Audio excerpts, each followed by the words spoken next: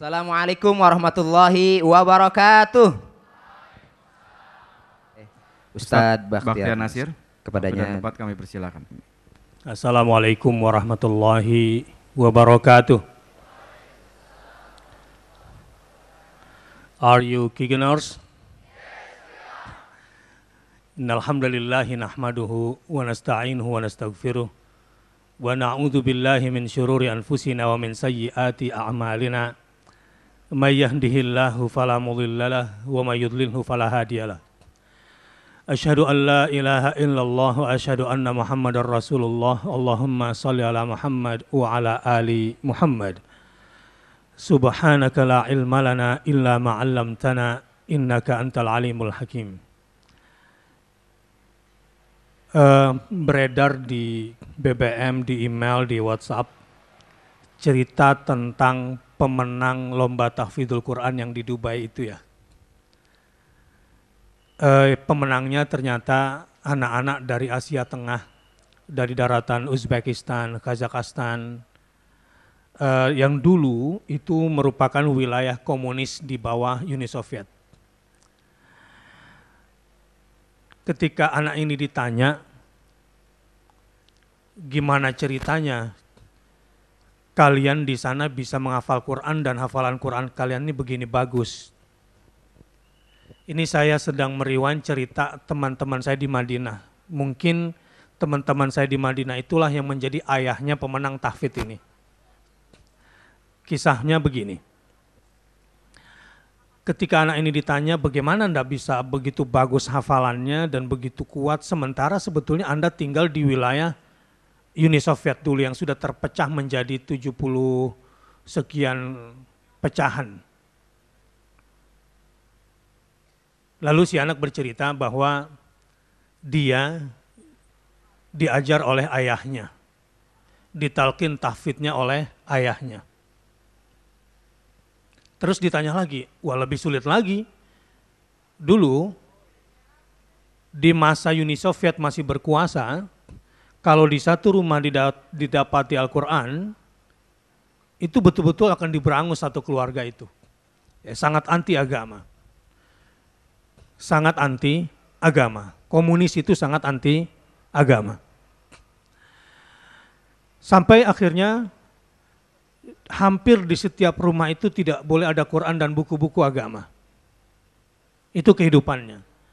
Saya hampir tidak percaya ketika masih kuliah tahun 90-an dulu di Madinah itu, mendengar cerita-cerita teman-teman saya yang dari Uzbekistan, dari Kazakhstan, dan sekitarnya. Anak ini cerita bahwa ayah saya itu sering mengajak saya berkuda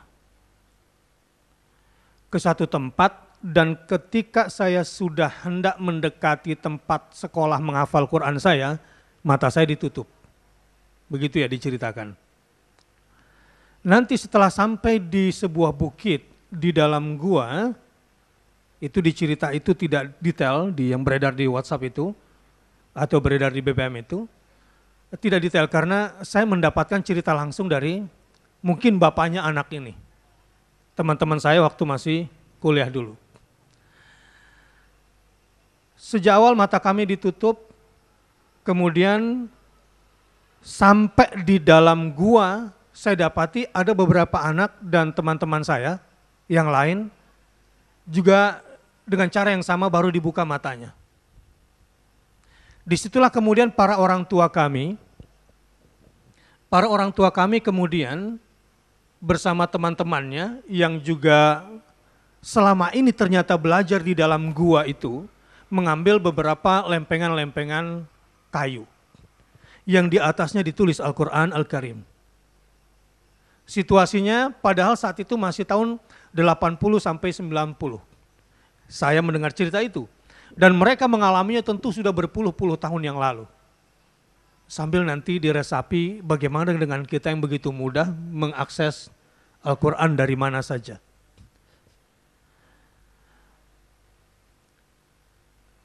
Kemudian kami ditalkin, namanya barangkali ada mukar, ada muhafiznya, ada mukriknya namanya kalau dalam bahasa tahfidzul Quran itu. Kami diajarkan membaca Quran sampai kemudian kami menghafalnya. Sambil turun di daerah aman, kami juga tidak tahu di mana, ditutup lagi matanya pas keluar untuk mengulang hafalan itu lagi. Tapi kalau sudah mendekati keramaian, tidak boleh dibaca lagi.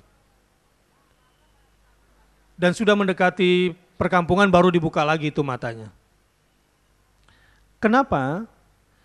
Karena kalau sampai satu hari rezim komunis ini mendapati mereka belajar Quran, lalu kemudian mereka ditangkap, mereka akan dengan mudah membocorkan rahasia di mana sekolah Quran yang berada di bukit di dalam gua tadi ini akan habis generasi kami, generasi Quran kami. Ini saya coba uh, setback. Saya kembali ke masa lalu untuk menceritakan kondisi di masa muda. Saya ingin gairahkan Anda bahwa sama kayak uh, Abu Bakar As-Siddiq berkata, Ayang kusuddinu wa ana hayyun. Apakah bobot agama ini berkurang sementara aku ini hidup? Aku tidak rela begitu. Ini karakter seorang pemuda biasanya yang selalu ingin melakukan hal-hal yang bersifat heroik, tapi sering kali di jalan yang salah. Kayak geng motor misalnya, itu kan uji nyali yang sesat itu. Ya, misalnya nongkrong di depan sevel berlama-lama, itu sebetulnya sebuah proses sosialisasi diri yang menghabiskan waktu dan sia-sia. Saya coba ceritakan orang-orang besar dan kemudian membangkitkan sebuah peradaban jadi kalau Anda mau tahu sebetulnya apa rahasia utama terpecah belahnya Uni Soviet pada masa itu adalah dan bagaimana kemudian kekuatan-kekuatan besar kemudian di Islam itu muncul adalah adanya generasi-generasi Qurani pada masa itu yang konsisten berjalan di atas kurikulum agamanya, yang berjalan di atas nilai-nilai akhlak agamanya, dengan pemikiran yang lurus, dengan keyakinan yang bersih, mereka kemudian berhasil hidup dengan bebas menegakkan la ilaha illallah di muka bumi pada saat itu. Pada hari ini, um, Kigen, Quranic Generation membuat sebuah event pada hari ini berharap untuk bisa berbagi. Sebab mungkin teman-teman di Kigen ini sudah sangat menikmati walaupun belum sepenuhnya indahnya hidup bersama Al-Quran dan mereka memang sudah benar-benar ingin kontrak tanda tangan mati gitu di hadapan Allah. Saya ingin bekerja untuk Islam sebagai generasi Quran sampai mati. Coba saya mau cek. Kigeners dan teman-teman di Aklik berdiri. Siapa di antara kalian yang siap menjadi generasi Quran dan tanda tangan kontrak bekerja untuk Islam sampai mati yang sungguh-sungguh karena Allah berani berdiri. Siapa yang berani? Yang ingin bekerja sampai mati untuk Islam. Baik. Allahu Akbar. Allahu Akbar. Allahu Akbar. Duduk.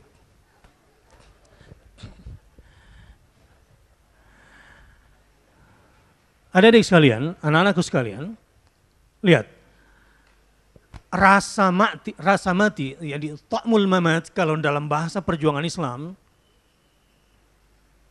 fi syai'in azimin ka ta'mil mamat fi syai'in haqir. Rasa mati untuk mengerjakan sesuatu yang agung dengan rasa mati dalam rangka mengerjakan sesuatu yang hina adalah sama rasanya. Misalnya pemuda yang menghabiskan waktu sampai ke bukit, lalu kemudian resikonya dibunuh karena ingin menghafal Quran adalah orang yang mati juga mungkin sakit, tapi untuk sesuatu yang agung. Tetapi orang yang dipinjemin motor, kemudian suruh ngetrek gitu, untuk mendapatkan cabai-cabai gitu.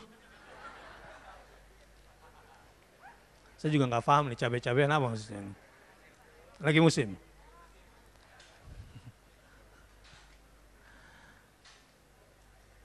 Sungguh ini adalah sesuatu yang hina dina. Betapa kelirunya hidup itu. Begitu juga duduk di majelis-majelis ilmu seperti ini, ini adalah sesuatu yang mulia. andai ada malaikat berlalu, digambarkan dalam sunnah Rasulullah SAW, dan di situ ayat-ayat Allah sedang dipelajari, maka malaikat itu akan letakkan sayapnya. Sebagai bentuk penghormatan untuk orang-orang yang sedang mendalami Al-Quran dan mempelajari Al-Quran, serta mengambil pelajaran dari Al-Quran. Para malaikat ketika kemudian menggambarkan, meletakkan sayapnya digambarkan oleh hadis Nabi SAW, itu bukan cuma memuliakan, tetapi membackup, membacking, menjadi pelindung, menjadi penjaga orang-orang yang sedang hidup bersama Al-Quran itu. Tapi orang-orang yang sedang nongkrong berlama-lama malam di depan uh, ini saya kasih informasi. Jadi salah satu tim saya saya punya tim penelitian sosial sendiri.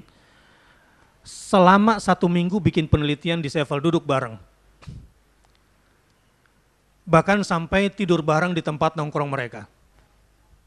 Di Datpati sekarang ada satu budaya baru, budaya mendamprat orang tua di Twitter grup mereka. Jadi mereka punya bahasa sendiri, tulisannya bangs, artinya bangsat yang ditujukan kepada kedua orang tua. Komunitas ini sekarang sedang berkembang untuk mencari generasi-generasi yang sudah tidak percaya sama orang tuanya. Untuk mereka rekrut. Untuk mencari anak-anak yang kecewa sama orang tuanya untuk diajak. Apa ukuran membershipnya?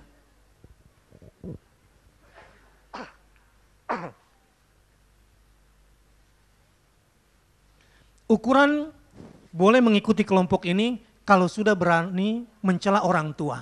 Misalnya di Twitternya. Siapa lo? Bangs lo? Gitu. Nyuruh gue belajar. Kayak dulu lu belajar aja gitu. Innalillahi. Iya, nyokap macam apa lo? Bangs nyuruh-nyuruh gue sholat. Dan menariknya, ini ada yang mengambil kesempatan dalam kondisi ini. Jadi lost generation itu kelihatan begitu banyak. Generasi-generasi anak-anak yang tidak lagi cinta pada orang tuanya, anak-anak yang tidak lagi percaya pada orang tuanya. Ini Pak Bambang dari KPK kemarin cerita sama saya. Ketika lakukan penelitian di Solo, berani jujur itu hebat. Berani jujur itu hebat. Jadi dia mencoba membangun kejujuran itu dari rumah. Ternyata ini ibu-ibu dan bapak-bapak yang hadir, anak-anakku sekalian, kalian ini bertanggung jawab ini. Ternyata di Solo itu sebagian besar anak-anak itu sudah distrust sama orang tuanya sudah tidak percaya lagi kepada orang tuanya. Terutama dalam urusan kejujuran. Sama barangkali kayak rakyat sama pemimpinnya di Indonesia ini kalau urusan kejujuran. Banyak yang percaya atau banyak yang nggak percaya? Situasi seperti ini bahaya nggak kira-kira bagi sebuah negara? Sangat bahaya.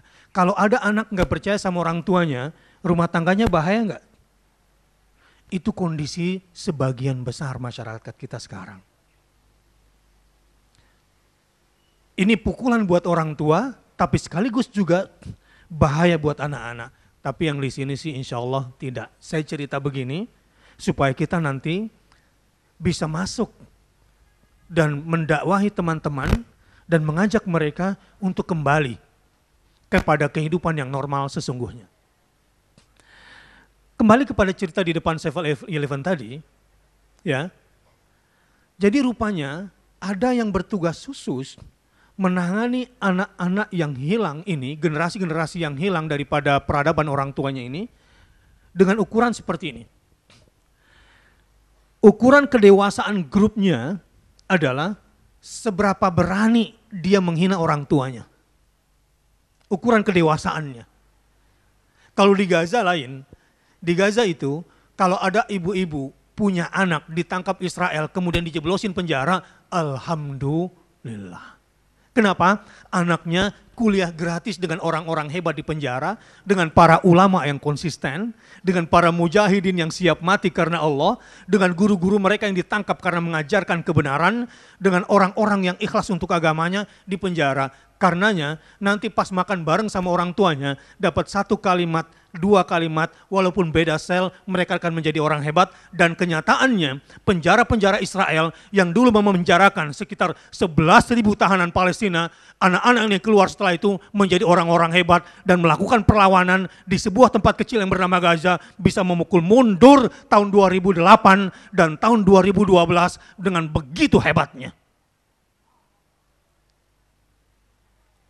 Memang merinding. Dari mana mereka belajar? Padahal mereka tidak punya akses untuk kuliah.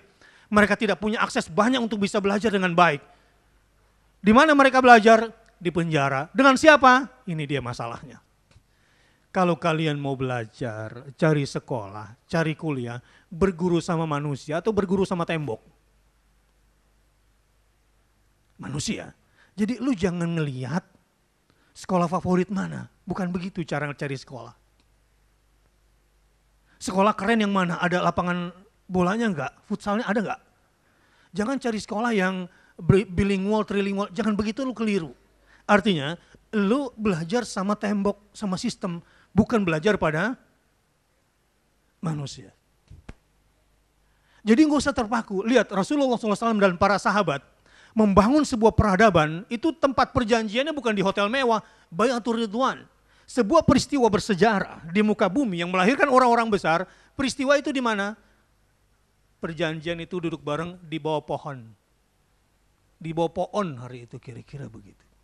Tapi dari komitmen orang-orang yang belajar Quran pada saat itu, kemudian lahirlah sebuah peradaban besar. Saya termasuk generasi di bawah pohon mangga saya ini. Ya, saya banyak belajar menghafal Quran di sebuah desa terpencil, di sebuah pesantren terpencil yang keluarga-keluarga saya juga kok mau ya si Baktiar itu kita ke Jakarta supaya maju, eh dia malah balik ke kampung menghafal Quran, digituin saya sama keluarga. Dulu itu. Tapi saya mau habiskan waktu di bawah pohon mangga untuk belajar, sampai ketika capek menghafal, lalu dalam mimpi saya, tiba-tiba pohon mangga itu banyak sekali, dan jatuh semua, saya taruh di keranjang sampai penuh.